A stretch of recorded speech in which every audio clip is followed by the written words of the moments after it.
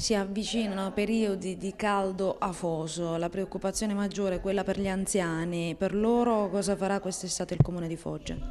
Agli anziani noi diamo sempre i servizi che diamo, non ci sentiamo di togliere proprio niente, proprio perché ci sono degli anziani che rimangono soli, ci sentiamo di continuare a dare loro quell'aiuto quotidiano minimo quale può essere il fatto di ricevere un pasto pronto, comunque di dare loro per esempio la possibilità di fare una settimana al mare eh, per cercare di allietare un pochettino la loro esistenza e viene dedicato tutto questo a gente che ha veramente bisogno. I tagli, il salvacittà non hanno inciso dunque sull'erogazione di questi servizi?